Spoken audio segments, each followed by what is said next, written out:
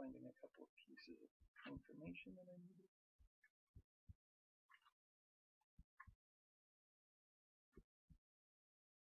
Hmm.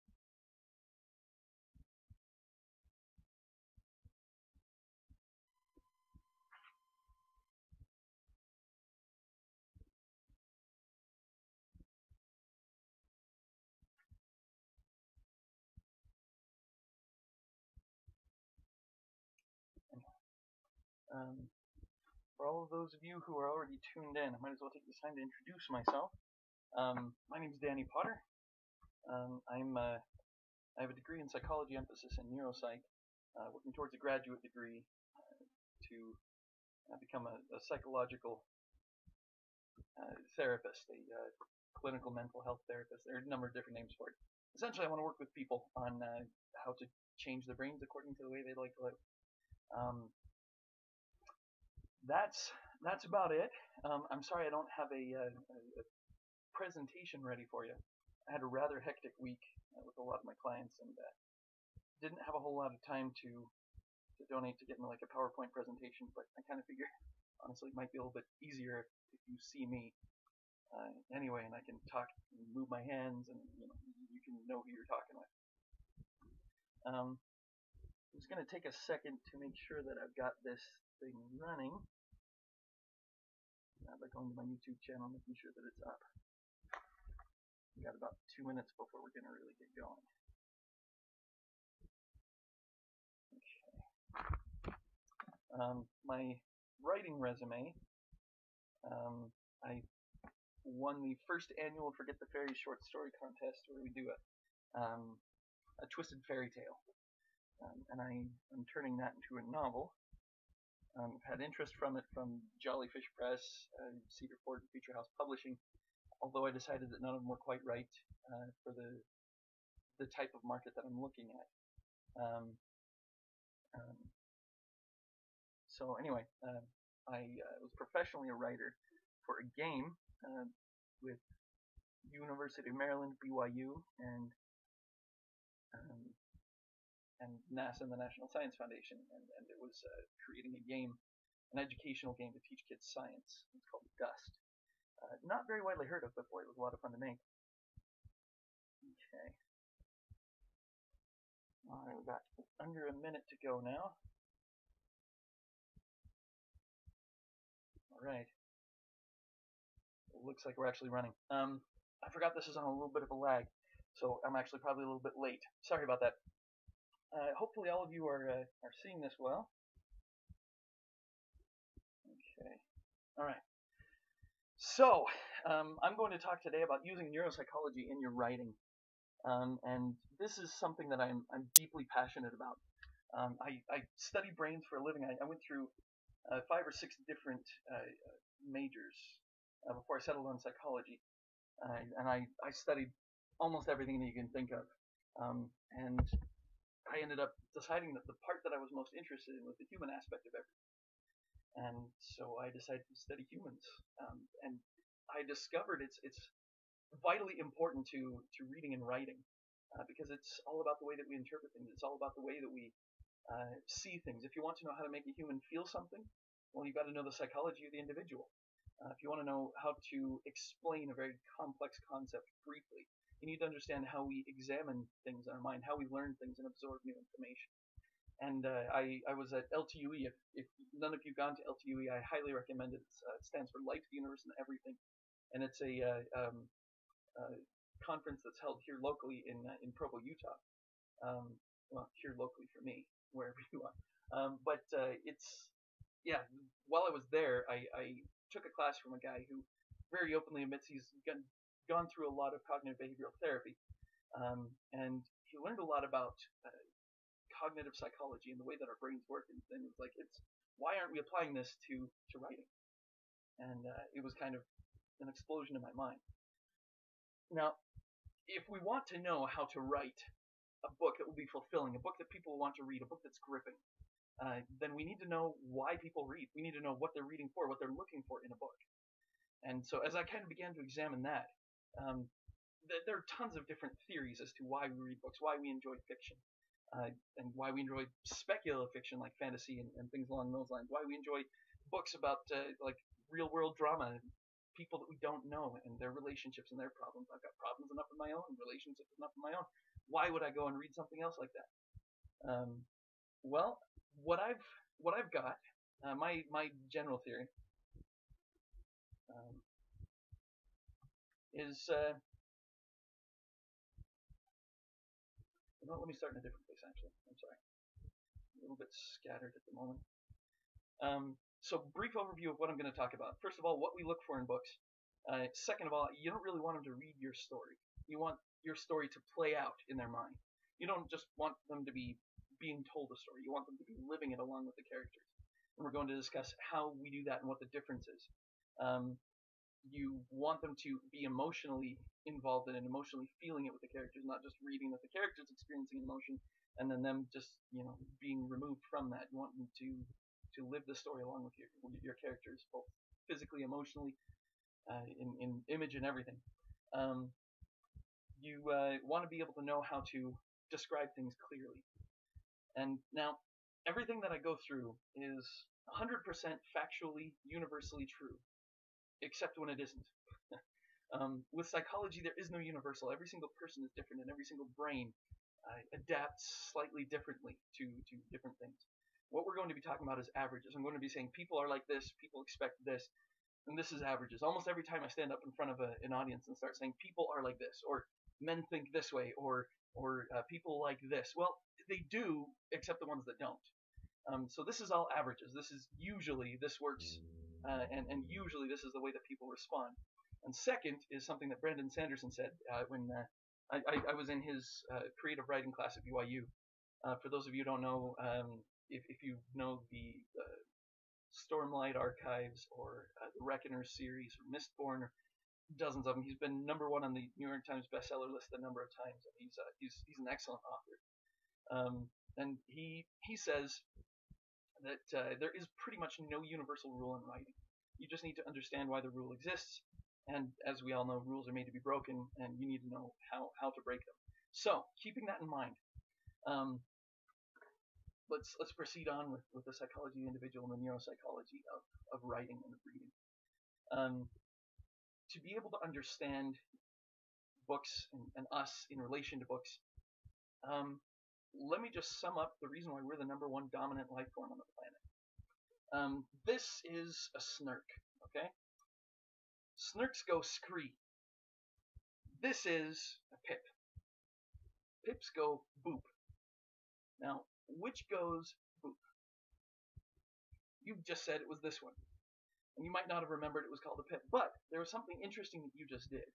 Because what you just did, you didn't think that you interpreted anything or, or went to great lengths to figure out which one goes boop. But no animal in the world except for human beings can do that. We can come up with dogs that can paw out the alphabet. We can come up with gorillas that know sign language. We can come up with parrots that actually seem to understand some of the words that they're saying. But none of them, despite having capability for language, can connect what you just did the thing was, I gave you three points of a triangle. I gave you a, a, a name and a, a behavior. Uh, sorry. Yeah, I gave you a, a visual and a behavior, and then a name and a behavior. So I said, this is a pip. Pips go boop. I didn't connect those two for you. I didn't say this goes boop.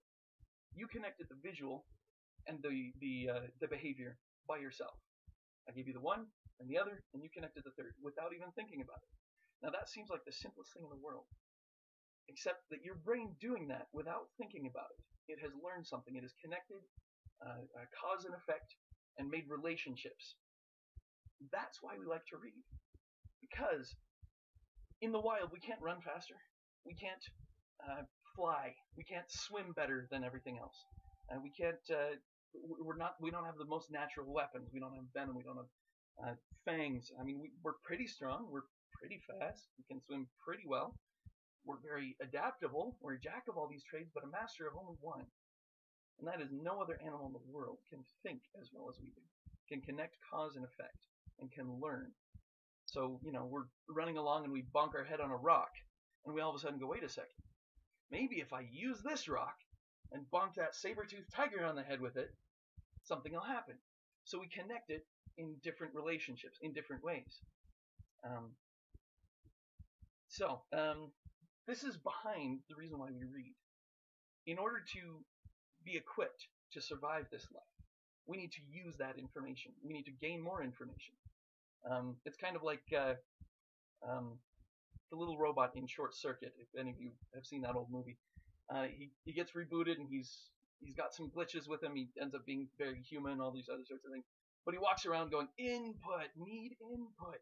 Your brain is constantly doing that. It's constantly rewiring itself according to the new information that you're getting second by second, what you're focusing on, things that you don't even realize that you're learning. Just like you didn't realize that you were connecting something I wasn't telling you, which is that this goes boop. You know it's a pip, you know pips go boop. But you connected that. Now, as you read, some part of your brain is applying the information it's learning, figuring out how to use it in life, uh, figuring out how this is a new perspective. The best way to think of our mind is it's essentially like a hive mind. Your conscious mind didn't have to work out that this goes boop. That happened unconsciously. This is happening constantly. You're monitoring sounds that are around you right now. And if something is out of the ordinary, if something is, if everything all of a sudden goes suspiciously quiet, or if there's suddenly a, a strange noise in the background, you'll hear it. You have all of these, we call them cortices, like these subdivisions of your brain, basically a hive mind. And uh, it gives us information at our conscious level only when we think we need it. So we don't realize we're actively learning anytime that we're reading anything, anytime we're paying attention to anything, every single bit of information that comes to you through your senses. Uh, your brain learns from it. So we read so that we can learn. We read so that we can interact better with the world around us. Uh, we feel really a, a sense of satisfaction and pleasure when we feel growth and progress. So when we see a character grow, or when we see a character progress, or the good guys make some progress in, in the right direction, or something along those lines, we feel good. It makes us feel good we read so that we can see other people overcoming situations that might be similar to ours. It gives us more hope for our own situation. Um, we uh, we feel good when we kind of are proven right. Like we say, oh, I bet this good guy's going to beat him. We might not know how. We might think it's in jeopardy for a little while. But when that's proven right, we feel good. This is one of the ways that we examine what we've learned. It's kind of like a scientist. We make a prediction, and we see whether the outcome matches the prediction, and then we feel good if we got it right. Um, what we like to be surprised about it. We like to be surprised about some element of the way it came to pass. There's the term surprising but inevitable. That's how you like your story turns to be. You like it to be the inevitable outcome that the good guy will win, but you're really surprised at how it happens. And you want them to doubt for a moment that it's going to happen, but eventually the outcome will prove them right. Um, now, let's see. Um, when something unexpected happens, there are lots of studies about uh, monkeys and babies and things along those lines doing basic things like they drop a ball and should fall down, and sometimes it goes up. Like they have a magnet in it, flip it on it, and it goes up. When this happens, like if they just drop the ball and it falls, the monkey, the baby will lose interest in it and wander away. But if it goes up, then they're like, what? And they just love it. They're fascinated by it. They can't stop. This is what's called a gap. Um, this is gap theory. Um, so it's there's a gap in our knowledge. It, it provides this hmm, there's a hole, and uh, and it's and, and, we want to figure out what the heck is going on. Um, there's a uh, I, I was looking for it here at the beginning and I couldn't find it. Uh, there's this book, um, Dean Koontz, the good guy, and it's got this great story turn at the beginning. Um, where there's it's a case of mistaken identity at the beginning. I'll spoiler the first chapter for you. A guy's sitting at a bar. A guy comes up and believes him to be somebody else. He's like, I'll play with him for a minute the guy slides him a picture and says, uh, it, and, and picture it in an envelope. And he's like, here's 5,000. Um, now you get the, the other half when she's gone. And he's like, whoa. And it all of a sudden just jumps. And then we've got this question, who is this? What's going on? And so he sits there for a few minutes and the guy eventually gets up and leaves. And we know he's supposed to be pulling a hit on this woman for, for $10,000. And he has her name, her address, everything like that. Um, this other guy comes in, sits down at the bar uh, after after the first guy left, and uh, and he's talking to the same character who's sitting there. You know, he's tucked this envelope in his five thousand dollars. Like, I should call the cops. He's just still kind of in shock. This this other guy comes in, looks a lot like our main character, and he's like, ah, there you are. So uh, I'm guessing you're the guy, and he's like, yeah, I'm the guy. And turns out, yeah, he's the killer, the guy who was supposed to be the killer. um, the guy who's there to find out who he's supposed to kill, all that other kind of stuff. And, and he pretends he's just like, yeah, I uh, I called off the hitch. I, I decided not to do it. I, whatever. And then the guy gets up, uh, the the killer gets up and leaves. The hired killer's like, well, okay, whatever. He gets up and leaves. And uh, our main character goes and follows him and sees him get into his police car and drive away. So this guy who was called the, uh, for the hit is is a cop, and we don't know what's going on. We've got all of these gaps. Who's this person who's supposed to be killed? Uh, why is is a cop involved? How how deeply does this go? All these other things that that create gaps, and we want to be able to resolve those. We want to learn, and um, so we we go through it and we, we follow it all um, through. Now the problem is if we have too many gaps, um, if we have no idea what's going on. I mean, if we uh, there, this happens a lot with like uh, fantasy novels. Um, they refer to a race that we don't know, a world that we don't know, a magic system that we don't know. It's like um, Grok was only 17 when the Snorlax took over his uh, his nation. They're Lorganax ringing in the sun, and none of these words mean anything. Um, these, this is too much, too many gaps.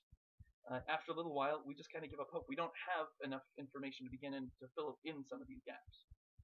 Um, so you build a little bit of confidence in your reader. If you provide them with a few gaps at first, and then fill in one or two, you always want to leave a gap, leave something that they need to be reading in order to resolve. Um, whether or not they're supposed to, like, there are a lot of stories that have major twists uh, that come to the point where um, the the crisis or what you thought was the crisis of the story isn't even close, and it's the, the conflict that is truly driving the story is something else. But along the way, you need them to have some gap, some red herring crisis that they're resolving. And if they resolve that and the story's still going, that's a problem. They don't have any gaps to keep reading for. Um, okay, and lastly, uh, we read for variety. Uh, we read because we don't like to feel the same thing all the time. The more we feel the same emotion, uh, the less significant it is, the less impact it has on us. The more our emotions vary, the more our senses, our experiences vary, the more vivid each one seems because we have something to contrast it to. Uh, this is why the the most likely uh, type of depression to drive a person to suicide is bipolar depression because you're either super high and super happy or super, super low. But the lows feel a lot worse because of the highs in comparison. A unipolar depression, they're usually kind of okay. They're not really chipper people to be around, but the people who just kind of, they're always depressed, eh, it doesn't feel as bad to them as it would to someone who goes up and down. So we read to have varied experiences, to have varied emotions, to make our own lives seem more vivid and also to relax from our own lives. We spend so much time in our own troubles, our own problems. We all know about the escapism aspect. Um, so we read for the variety. Um, in that note, make sure that your book is not all one thing or another. Make sure that you have variety within the book. You'll make each part of the book seem more vivid. Like in going back to the good guy, um, Dean Koontz is an amazing author. He's probably a better author than I'll ever be, uh, but I feel like he does have a problem with this book. It's super adrenaline almost all the time. The pauses and, and breaks in between the action is very brief and very tense. And uh, he, he doesn't put enough breaks in that you don't totally get bored with it. Uh, but if, if it's hyper action all the time, then it really just loses its charm. You you start to uh, lose concern because it's it's been action the entire time. There's nothing nothing new from page to page. You know, it doesn't come and go. You don't expect to be surprised by anything because, oh, look, here's more action. Oh, look, here's more crisis. Oh, look, here's more action.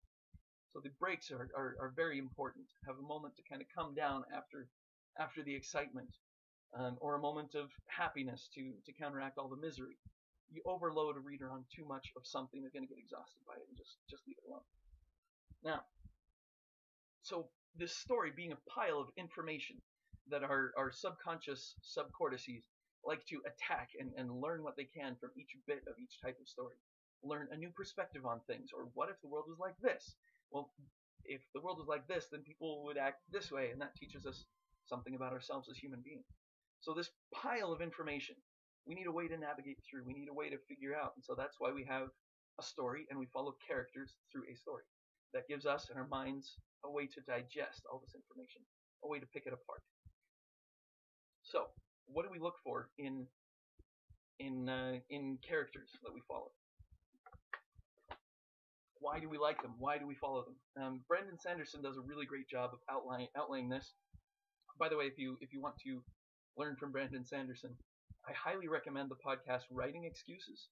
Uh, it's him with three other authors that are just phenomenal. They're only 15 minute long episodes, but they pack an immense amount of really amazing information into that. Um, also, uh, I'll try to post a link later, uh, but uh, Brandon Sanderson videotapes his classes and puts them online, um, and they're they're really phenomenal. He's an amazing teacher and very entertaining. Um, so, what we look for in a protagonist, uh, we need to. I, people often say you need to relate to a character, and that's it in some way. We need a viewpoint from which we can understand a character and a reason why they're interesting. Um, so the first thing that Brandon says is make your protagonist protag. Um, now I do want to kind of put a little stipulation. Uh, there are lots of characters in a book, and they have lots of different reasons for being there. You have your main character, and there are lots of different ways to define them. I'm just going to talk about the way I'm defining them right now. Um, your protagonist is essentially your hero. They're the one who's leading the cause of what's good, um, or the cause that we're supposed to be rooting for. Uh, then you sometimes have a different character who's your main character, possibly, or your viewpoint character at least. Uh, for example, uh, Sherlock Holmes, he's, you could say, the protagonist of the stories. I mean, the adventures of Sherlock Holmes, but he's not really, I would say, the viewpoint character, the character whose head we're in, and whose through whose eyes we see the world. Um, the the viewpoint character would be Watson. See, Holmes is too good. He's too competent. Too competent. Uh, we don't get growth from Holmes because Holmes is just always amazing. So if your protagonist, if the hero of your story is too amazing, probably shouldn't be your viewpoint character. We need to feel that they can grow. Um, so first of all, make your protagonist protag. Uh, I saw on, on, one of the uh, the other ones. I'm sorry, I don't remember whose whose it was. Um, that it was talked about you uh, you don't want to have a passive character that things just happen to. Um, for example, I saw I, I recently finished a book. I don't want to say it because this is a non-example. I'm saying don't do this, and I don't like to slander other people. But I read this book where there was this uh, this kind of doom, uh, this uh, countdown, this deadline, a time bomb. He had to fight a duel to the death at this specific time, and uh, and he kept trying to get out of it and kept trying to prepare for it, and a whole bunch of other different plots that he had. And then we follow him through each one, and we're wondering how he's going to get out of this because he's not prepared, and none of his plans have worked. And, and getting to the point, he's bring he's brought into the thing, and he even likes the person he's about to fight and kill, and and how are they going to get out of this? Because they're being forced. They'll both be killed. Yada yada yada. World of the world hangs in balance. Uh, the fate of the world hangs in the balance. And all of a sudden, a crack in the earth opens up, and all the dead heroes of the past come pouring out, and they say to the to the people that are forcing them to do this, "You have broken this ancient oath, and we're going to kill you all unless you stop it right now, um, because this duel to the death is is against this this ancient oath, this ancient covenant, and, and yada yada yada." And so the bad guys say fine and, and they get out of it. Nothing that the hero did resolved the conflict. The hero did not protag. The protagonists seem to be this army of, of heroes of the past ages. And so I, I felt like like I, like I was shortchanged. Like I just wasted a whole bunch of time. Why did I spend all this time getting to know this other guy who didn't really do resolve anything in the story? I wasn't following behind the protagonist the whole time. The protagonists were introduced at the very, very end, and it was just ah, I wanted to follow the active person, the person who made a difference, uh, either from their own eyes or from the eyes of a, a, less perfect friend near them who's watching them, going, "Wow." Um, so, um, second, they need to be competent. Now that the hero of this book I'm referring to was, he, he did do a lot of things and he did them very well. Uh, we need to not be frustrated the whole time, feeling like, God, if I was in this story, I'd just say, dude, forget it, I'll do it. Um, if I feel that I could resolve this situation a whole lot easier and a whole lot better than the main character every single time he comes up against something, eh, I'm, I'm going to really lose interest in the story quite quickly. Um, uh, the the competence can be uh, they know a whole lot about a specific thing. It can be like an, uh, intelligence or specialization. It can be uh, physical ability. It can be um, it, it, can even be humor if they're competent at being really funny. Uh, for example, Arthur Dent in The Hitchhiker's Guide to the Galaxy. He's incompetent in almost every way, but he's competent at being human, and he's competent at humor, and so he's a sympathetic character. We like him. Um, and they need to have heart. They need to be willing to face an issue. Um, reluctantly or not, they need to do it. They need to protag. They need to be able to be willing to make the right call, make sacrifices uh, for for the cause of, of what we think they should do. Um, they need to be passionate about something. Uh, they can love someone, uh, and that tells us that they're human because they feel empathy for another human being. And so it's like, hey, I, I can I can get that. I can follow that. Um, or they need to be passionate about a cause. Um, and it needs to be a cause that I can understand being passionate about. If they're passionate about collecting bottle caps, that's probably not enough to make them a sympathetic character for me. It's adorable, but you know. And I would recommend make it make them more than one dimension. Make them be passionate, maybe not uber super zealous, but passionate about a number of different things. Um, for example, there are a number of characters in books that are usually not that well written. Uh, it's a common character that, uh, that you'll come across that is extremely passionate about food, and they're always hungry. And every line that comes out of their mouth is supposed to be funny because it's about food. But after a while, there's no gap there. It's completely predictable, 100% predictable. Um, not surprising, but inevitable. It's just inevitable. They're going to open their mouth and say something about food, and so you want to give them a little bit more depth, a little bit more dimension than that. Um, now, you need to not just have a good protagonist. We need to have a good antagonist. And a villain that will keep us involved and keep us compelling. We look for a number of different things uh, to to hate them. uh, we need to believe that they can win. Some type of competence in the villain. Um, there's a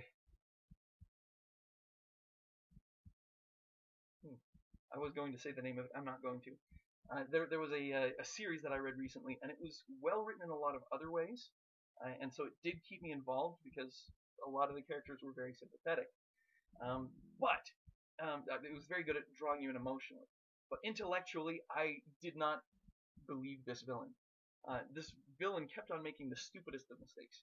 She was supposed to be really smart, really manipulative, really uh, on top of it, and, and puppet master, pulling all the strings at once. But every single time that the good guys got away, it was because she did something blindly stupid and totally out of character.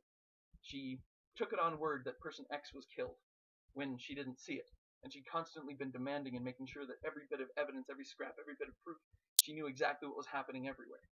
But this one, she's just like, oh, you said you killed the person. Okay, that's it. And then so the good guys got away, and, and you know, just that kind of incompetence it was a ding against the book. Now, this isn't the only thing that's going to keep a person reading because I, I enjoyed the series as a whole. Um, but this villain was competent part of the time, but all the rest of the time, I'm like, that's the most idiotic movie to possibly make. So they need to have competence of some kind. We need to believe that they can win. But this one was stupid at just the right moments, uh, in ways that was out of character, and that is not a competent villain, one that I believe could win because they're just going to make another convenient mistake at a convenient moment, and the good guys are going to win. And I'm not even wondering anymore how it's going to happen because it's, like I said, inevitable, not surprising. Now, um, so they, they can be intelligent or they can be really strong, really fast. They need to have some kind of competent edge over the heroes. Um, and they need a reason why we dislike them. Uh, they have a perspective or a worldview that's flawed, so they have a goal or aim that is, in our view, atrocious. And often chaos or death or destruction or control or you know they have whatever their aim is. It's one that we believe will will ruin things, um, be it a world or, or one particular individual's life, whatever it be. Um, a perspective that's flawed. They need to have an unjustified hatred or an unjustified indifference that is applied to either a protagonist or someone or something that we care about.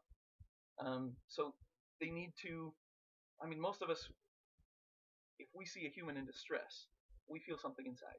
We kind of feel a pang.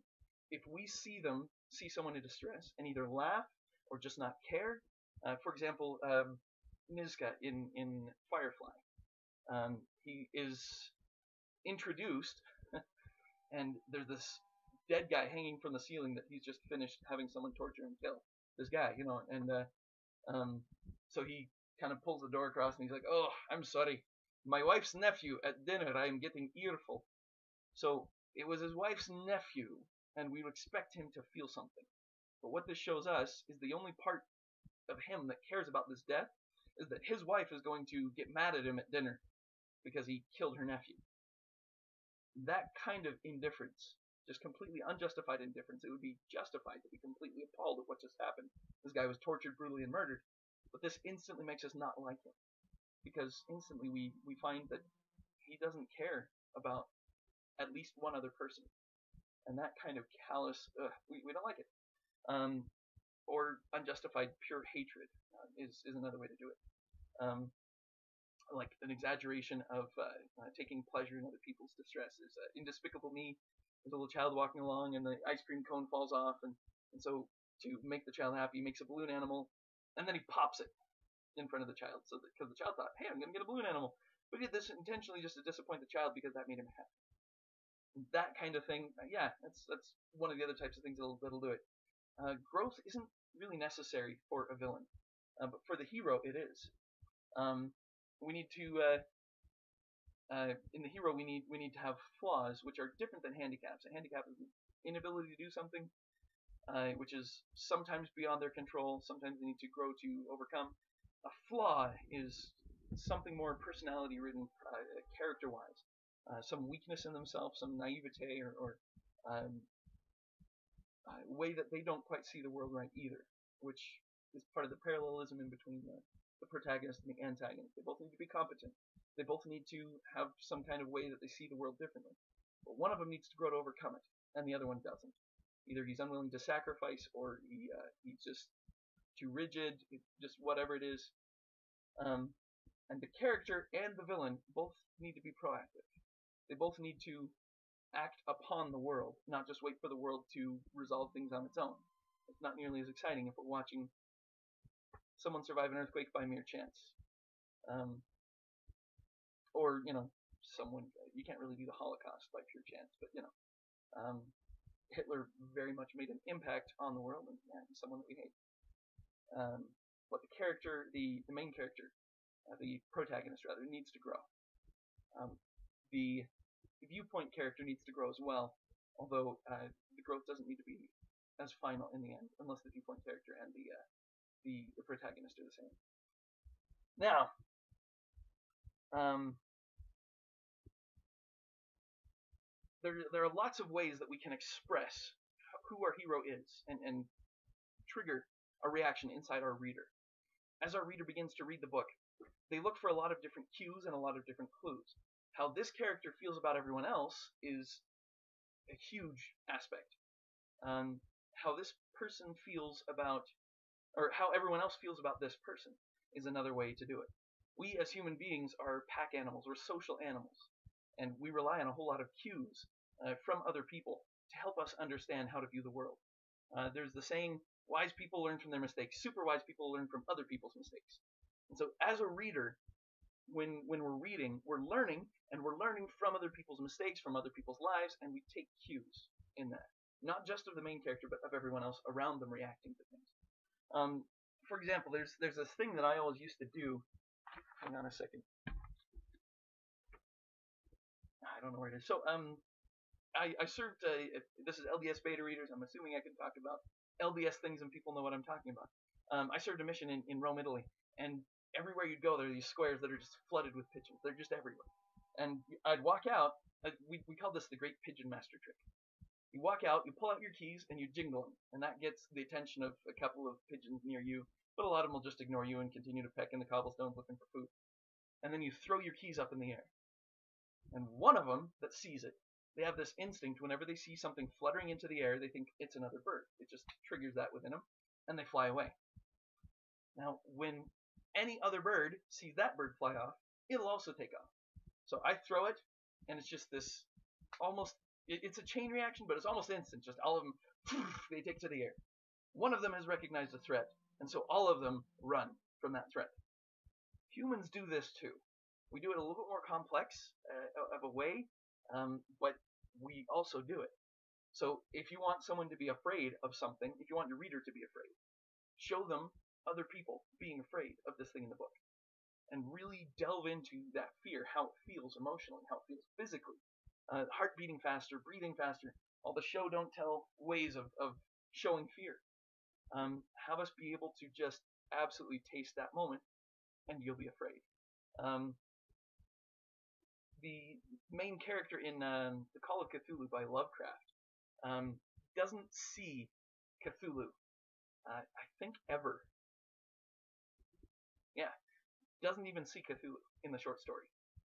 And so we're in his head, but as he we go through the story, he runs into all these other people who have run into aspects of Cthulhu or aspects of Cthulhu's cult, things to do with Cthulhu, and it just terrifies us because we see how these people are afraid of it, and he just really it grips us, and we feel terrified.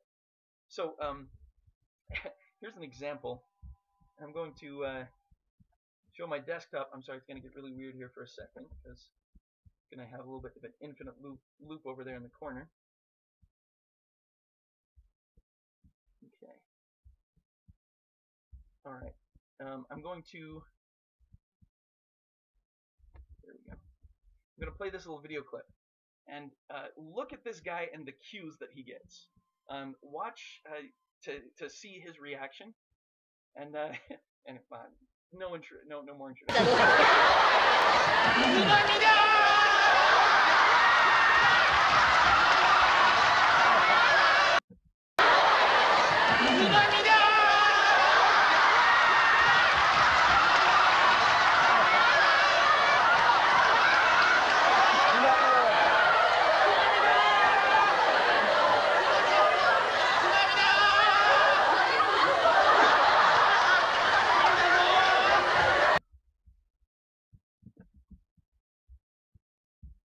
Okay.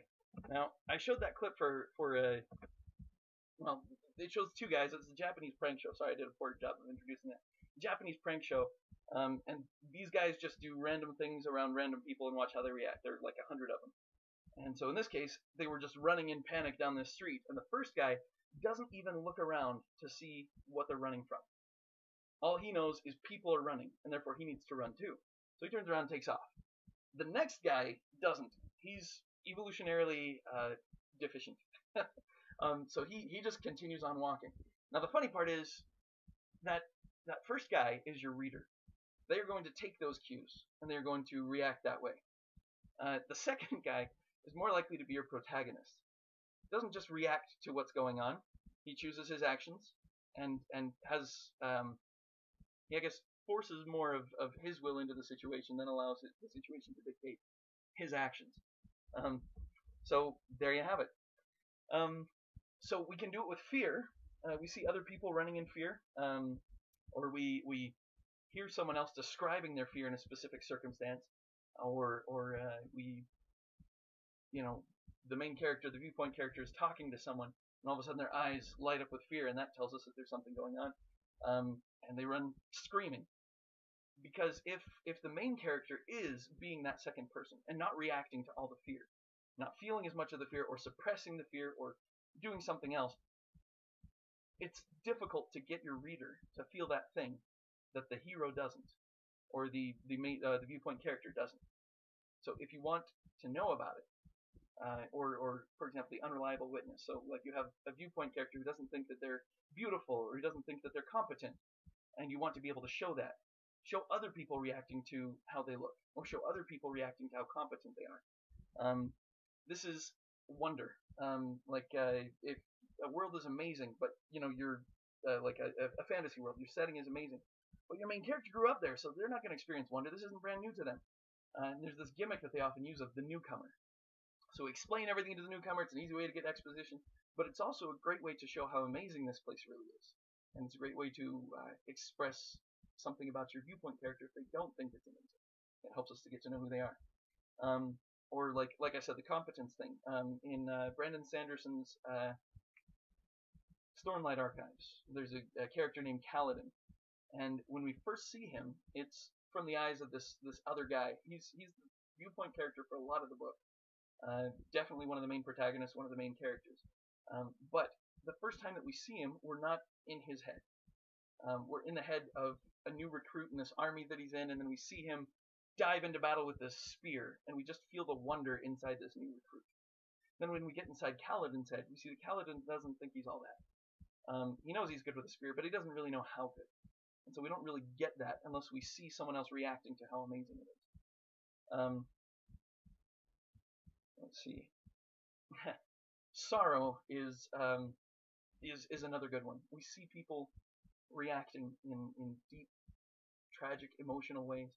Um, and it can be, like I said, a viewpoint character or, or someone else around that. Um, we take our cue that this is the time to be sad. You can watch people do this visually when you're telling them a sad story. Now, to be fair, women do this better than men do. um, men don't, we don't show as much on our faces about what we're thinking. On average, there are exceptions, I know, um, but on average we don't. Uh, for example, as I was learning about this, I was uh, taking psychology classes and we were talking about body language and we're talking about facial mirroring. If you tell a woman a sad story, first of all, she's going to maintain more eye contact. Um, men tend to see this as either a challenge or really being aggressive. Women just see this as connecting personality wise. Once again, this is averages. Um, and uh, I began to notice that my face, you can tell it's usually smiling and people tell me a sad story, I sometimes forget to update my face on what I'm feeling at the moment. So my natural face is a smile. And so they're telling me about how their dad died, and I'm just like, that's really terrible. And I don't didn't react that way. So I began to pay attention to that, and it was true when I started telling a girl about a sad story, their face would get very concerned, and they'd show sadness on their own face. Um, and so I started to do that to help people understand. Yeah, I'm on the same page with you here. Um, but uh, by the way, this is a, a good um, a good technique to get yourself in the right mood to write something. Edgar Allan Poe was famous for putting on the expression of the character that he was writing to try to feel that. Um, in in therapy, we call this biofeedback. If you're not happy, pretend you're happy, act like you're happy, talk like you're happy, put your face in a happy face, and then you feel that way. So if you want to know how a character feels when they're angry, make an angry face. If you want to know how a character feels when they're scared, make a scared face. Start breathing faster. Uh, you're scanning, looking for, for whatever is about to attack you. And just do that for a minute or two, and you'll start to feel some of that. Not all of it, but some. Um, anyway, my point is um, that when you when you see people doing that, you'll react that way. It also works with joy. Uh, it also works with affection and trust. If you see someone loving your your character, then you think, hey, they must be worthy of being loved. It's really fun to do this with villains because then you make them more deep and more complex. You make your villain someone that your character, um, so someone your readers can sympathize with. You make your villain human uh, because in the end, pretty much every villain that we ever meet in real life has some redeeming quality. They're human as well. And most villains don't view themselves as such. Most villains aren't actually actively trying to be evil. So if you show the villain going home to his wife that he would do anything for, and loves him and would do anything for him, then that kind of shakes up our our uh, our whole situation. Or if we see our main character going home and their daughter goes "Daddy" and runs to him and to, to greet him, especially if they're children or someone vulnerable, someone that needs protection, uh, someone that looks up to them, something along those lines. If we have someone else admire them, trust them, um, this we take as a cue. This is someone who has an admirable trait. This is someone who can be trusted, someone who's worth loving. Um, this is like uh, with with um, Darcy in Pride and Prejudice. Uh, Elizabeth begins to change her mind about him as she sees other people who say, like like Bingley, for example. He's a wonderful, genial human being, loves everyone, and he absolutely loves Darcy. At first, we don't get that. We think it's just because Bingley's an idiot and he doesn't see who Darcy really is. But then we run into a couple more people who are like, yeah, Darcy just saved my life at this one point. Yeah, it's really a pity that such a thing happened to such a great guy like Darcy. And then Elizabeth finally gets to his house and is going on a tour through his house, and and she meets this this housekeeper who's just like, oh, Master Darcy never had a, a crossword for anyone, such a kind boy, and never never a kind master such as him. And she's like, hmm, maybe I need to re-examine the way that I'm thinking about him. And we kind of do the same thing. At first we disbelieve it, but then we see her start to change her opinion, and we start to think, huh, maybe there is more to Mr. Darcy than meets the eye. Um, and uh, this is also another one in in what's it called? I am not a serial killer uh, by Dan Wells. Um, a really really great book. It's about a sociopath. Um, now, people when they say psychopath, they usually mean sociopath. A psychopath doesn't feel regret. A sociopath does not feel empathy for people. So you can watch someone in pain and have pretty much nothing happen inside it. And they're screaming and writhing. So usually they seek what is their own good because they can't feel anything when good things happen for other people. Most of us, we give a child a cupcake and we feel good because they're happy. They don't have that. They don't reflect any of this kind of emotion. They often think as other of other human beings as it in natural pronoun. And it's just like this is a really unlikable person because we don't see them caring about anyone else. So um and, and how they treat others, we think to ourselves in some subcortex might be how they treat us. So we don't feel like we want to get to know this person at all. But this main character, this viewpoint character, protagonist, just the guy, is a sociopath, and he's trying not to become a serial killer. What makes us like him is, yeah, he's funny, he's smart, uh, so there's the competence aspect, uh, competent in humor, and um, and and in intelligence, and we see that he believes very much in not becoming a serial killer. He wants to do what's right. He doesn't want to do it because he doesn't want to hurt people, but he he wants to do what's right. What's right is important to him. Now that's good, but the thing that really clinches it is very, very early on as we're introduced to this character and he's just walking around not really caring how other people are feeling because it doesn't impact him. Um, he, we, we see his mom and how much his mom loves him. We see his older sister and how much his older sister loves him. We see his aunt and same thing. We see the girls at school and how much they respect him and keep flirting with him, trying to get to know him, and he doesn't really get a lot of social cues. um, so he doesn't really understand that that's happening. But we see all these people that care about him, that are invested in him, that think he's a worthwhile human being, and that helps us to to get excited about him. Um, now, uh, there's there's a thing about human beings, and this is both in writing how your characters act and in interacting with your reader. Um, we we tend to be invested in other people and interested in their interests, in their best interests. Um, when when we feel like they care about other people, uh, when we feel like we know we can trust them to to interact somewhat altruistically.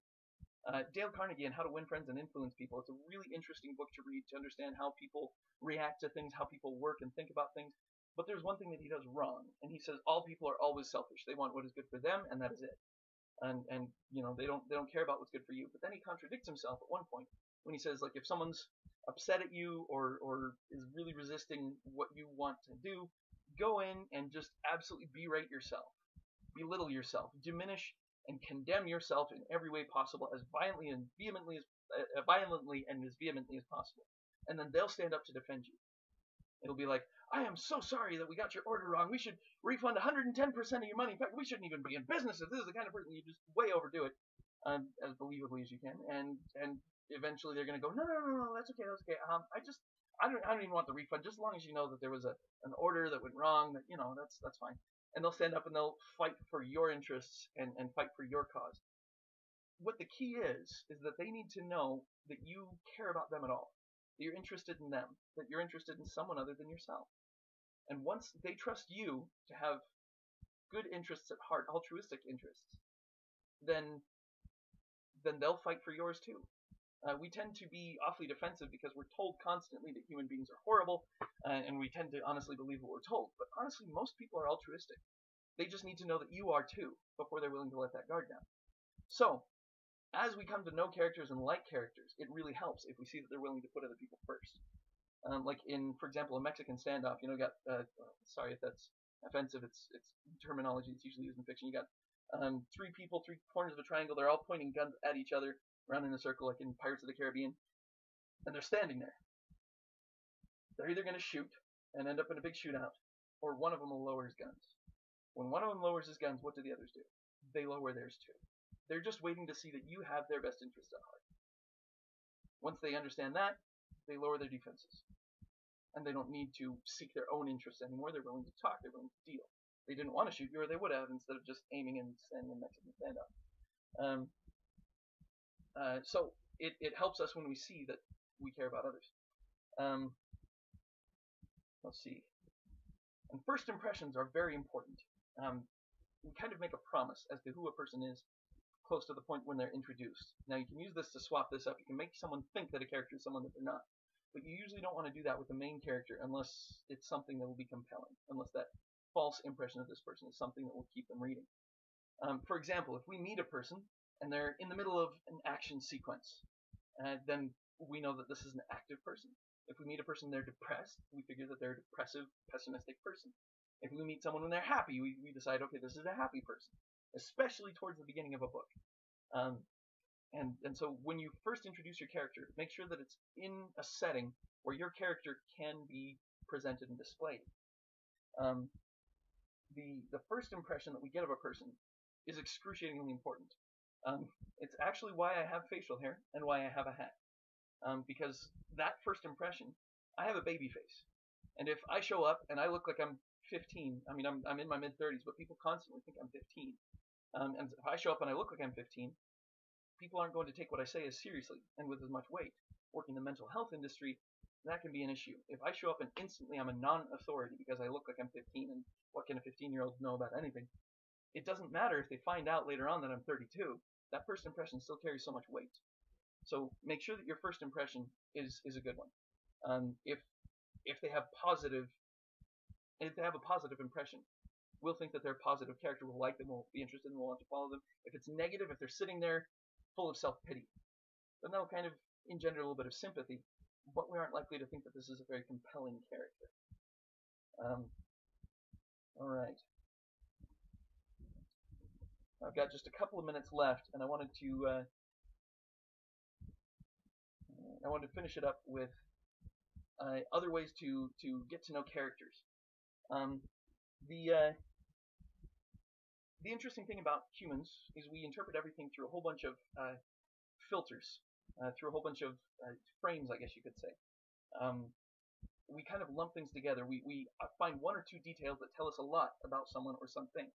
Uh, for example, in uh, in Brandon Sanderson's Alloy of Law, sorry I quote him so much. I just had a lot of his books on hand when I was when I was starting this. Um, you know, I, I, won't read the first page, but basically it starts out with a guy who's creeping along in the ground, and he's got a gun um, that uh, that he describes in detail. It's like the barrel of his 36 was this and that and the other, but luckily it was uh, this type of gun without much play in the yada yada yada. You get to know instantly who he is because of how he's thinking about his situation, how he's viewing everything. Um, if a person is walking along and, and everything they're viewing through a, a, really negative lens, we get to know that this is a negative person. It can also uh, tell us a lot about the uh, the emotional state of the person. Um, there's a, uh, quick description I would like to uh, read, a couple of them. Um, so, like, if I tell you the box lay in the alley like a forgotten artifact, dog-eared and dented, clusters of mildew uh, adorning the sides. That's a, a, pretty little image, you know, but uh, obviously the guy who's there, or the person who, who's viewing this, kind of thinks it's lovely and picturesque, uh, picturesque. But if they describe it, the box lurked in the alley, reeking of decay, the tattered opening gaping like a savage mouth. That puts us in a completely different place, and we know something about that person. Right now, they're viewing everything as a threat. Um, that can tell you a lot about who a person is. If I give you a couple of details like um, black fingernail polish and uh, knee-high steel-toed black leather boots. Um, I tell you this is a woman. You know a lot of details about her that I didn't tell you. Like she probably calls herself Poison or Raven or something like that.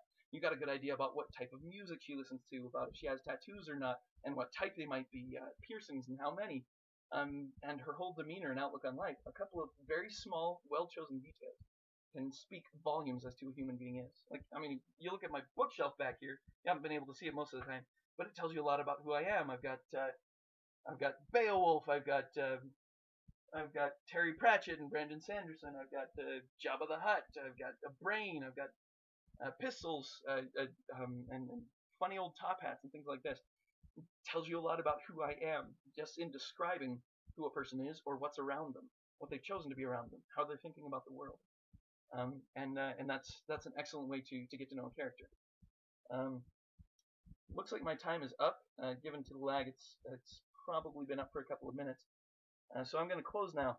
Um, I wanted to close with uh, a little bit of a pitch. I recently presented at LTUE um, on schemas, parts of these details that tell us worlds about what's going on inside a person's head and, and how to analyze those, how to use those to communicate the scheme of your whole book, know where you might be missing something, uh, what might not be fulfilling, uh, how to present characters, how to describe really intense objects or, or new aspects of worlds and, and, things along those lines. Um, if uh, let's see, you could go to lucidsense.blogspot.com um, to uh, to to see a recorded video of that, as well as I'm going to be posting a whole bunch of other things along those that those lines. Or uh, just go to my Facebook profile, Danny Potter, um, uh, or my um, Facebook group, Scribleptic Support Group. I'm going to put all that in the notes. So anyway, um, thanks for listening. I'm going to close. The uh, admins have a, a, a, video that they're going to show afterwards. Um, and uh, that's all there is to it.